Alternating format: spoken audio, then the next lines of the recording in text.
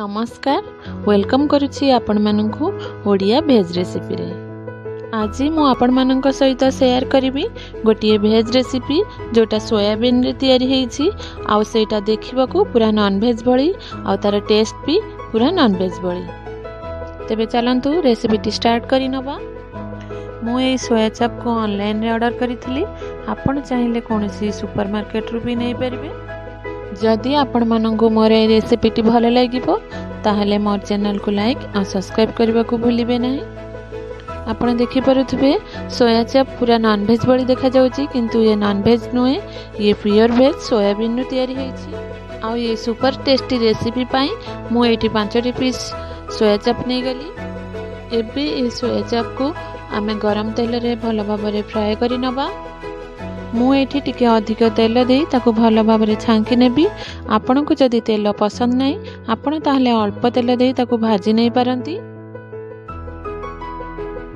soya ଚାପ୍ର colour golden brown colour ଆସିଲା ପର୍ଯ୍ୟନ୍ତ ଆମେ ଏମିତି ତାକୁ ଛାଣି ଚାଲିବା ଆପଣ ଦେଖିପାରୁଥିବେ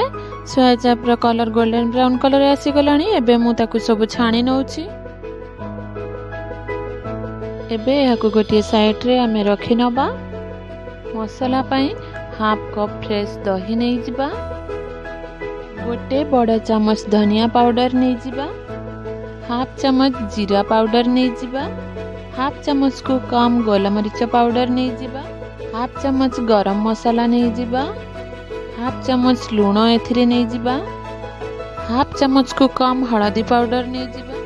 ହାଫ୍ ଚାମଚ ଲଙ୍କା ପାଉଡ଼ର ଆମେ ଏଥିରେ ନେଇଯିବା ମୁଁ ଏଇଠି ସାମାନ୍ୟ ଟିକିଏ ଫୁଡ଼୍ କଲର୍ ନେଇଛି ରେଡ଼୍ କଲର୍ର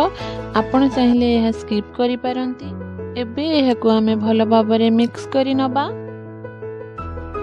ଦହି ସହିତ ମସଲା ପାଉଡ଼ରକୁ ଆମେ ଭଲ ଭାବରେ ଗୋଟିଏ ମିନିଟ୍ ପାଇଁ ମିକ୍ସ କରି ନେବା ଏବେ ଆମେ ଏହାକୁ ଗୋଟିଏ ସାଇଡ଼୍ରେ ରଖିନେବା ଏବେ ଆମେ ତରକାରୀ ପାଇଁ ଗରମ ମସଲା ରେଡ଼ି କରିବା ଗୋଟେ ଚାମଚ ଜିରା ନେଇଯିବା ଆମେ ଗୋଟିଏ ତେଜପତ୍ର ନେଇଯିବା ଛୋଟ ଖଣ୍ଡେ ଡାଲଚିନି ନେଇଯିବା ଗୁଜୁରାତି ଆମେ ଚାରିଟା କି ପାଞ୍ଚଟା ନେଇଯିବା ଗୋଲମରିଚ ଆମେ ପାଞ୍ଚଟା ନେଇଯିବା ଲବଙ୍ଗ ଚାରିଟା ନେଇଯିବା ଏବେ ଏସବୁକୁ ଆମେ ଗୋଟିଏ ସାଇଡ଼୍ରେ ରଖିନେବା ଏବେ ଆମେ ଗୋଟିଏ ପେନ୍ରେ ଦୁଇ ଚାମଚ ତେଲ ନେଇଯିବା ଆଉ ସେଥିରେ ଗୋଟିଏ ଚାମଚ ଘିଅ ନେଇଯିବା ରେଡ଼ି କରି ରଖିଥିବା ଗରମ ମସଲାକୁ ଏଥିରେ ଆମେ ଦେଇଦେବା ଗୋଟେ ଚାମଚ ଅଦାର ପେଷ୍ଟ ଆମେ ଏଠି ଦେଇଦେବା ଏବେ ଆମେ ଏହାକୁ ଭଲ ଭାବରେ ମିକ୍ସ କରି ନେବା आमर ग्यास फ्लेम टी लो रही दरकार दुईट मीडियम सैज्र टमाटो को मु भल भाव बाटि रखी एवं मुझे प्यूरिकी एदली एवं आम गरम तेल में टमाटो प्यूरिकी भल भाव मिक्स कर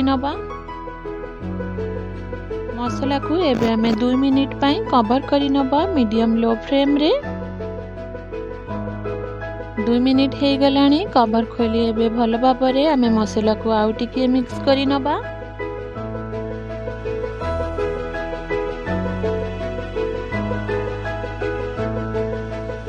মিক্স করে রাখিথিবা মশলা পাউডার আউ দহি কু এথিরে এবে আমি মিশাই নবা দহি মশলাকু এবে আমি ভাল ভাবে দুই মিনিট মিক্স করে চালিবা যেতবে বি আমি মশলার দহি দৌঁচ ଆମେ କଣ୍ଟିନ୍ୟୁଅସ୍ଲି ଏମିତି ମିକ୍ସ କରି ଚାଲିବା ନହେଲେ ଛେନା ଛିଡ଼ିଯିବ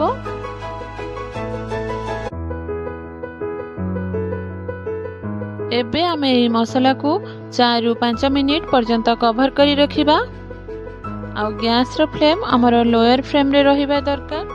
ମସଲାରୁ ତେଲ ଏବେ ଅଲଗା ହୋଇଗଲାଣି ଆପଣ ଦେଖିପାରୁଥିବେ ଏହାର କଲର୍ କେତେ ବଢ଼ିଆ ଦେଖାଯାଉଛି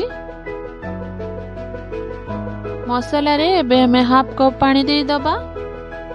ଆଉ ମସଲା ସହିତ ପାଣିକୁ ଭଲ ଭାବରେ ମିକ୍ସ କରିନେବା ମସଲାକୁ ଏବେ ଆମେ ତିନିରୁ ଚାରି ମିନିଟ୍ ପାଇଁ କଭର୍ କରି ରଖିବା ଲୋୟର୍ ଫ୍ଲେମ୍ରେ ଏବେ ଆମେ ଛାଙ୍କି ରଖିଥିବା ସୋୟା ଚାପ୍କୁ ଏଥିରେ ଦେଇଦେବା ଗୋଟି ଗୋଟି କରି ଆଉ ଏହା ଉପରେ ଆମେ ହାଫ୍ ଚାମଚ ଗରମ ମସଲା ଦେଇଦେବା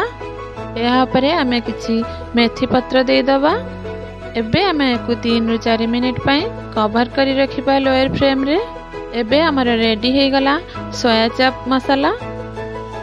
ଏବେ ଆମେ ଗ୍ୟାସ୍ର ଫ୍ଲେମ୍କୁ ଅଫ୍ କରିନେବା ଆପଣ ଦେଖିପାରୁଥିବେ କେତେ ସୁନ୍ଦର ଦେଖାଯାଉଛି ଆମର ସୋୟା ଚପ୍ ମସଲା ମୁଁ ଏଇ ସୋୟା ଚପ୍କୁ ବିନା ପିଆଜ ରସୁଣରେ ତିଆରି କରିଛି ଆପଣ ଯଦି ପିଆଜ ରସୁଣ ଦେବାକୁ ଚାହାନ୍ତି ତାହେଲେ ମସଲା କଷିଲା ବେଳେ ପିଆଜ ରସୁଣ ଆଡ଼୍ କରିପାରିବେ ଏବେ ଆମର ରେଡ଼ି ହୋଇଯାଇଛି ସୋୟା ଚାପ୍ ମସଲା ଆପଣ ଟ୍ରାଏ କରନ୍ତୁ ନିଜେ ଖାଆନ୍ତୁ ଆଉ ଆପଣଙ୍କର ଫ୍ୟାମିଲି ମେମ୍ବର୍ସକୁ ବି ଖୁଆନ୍ତୁ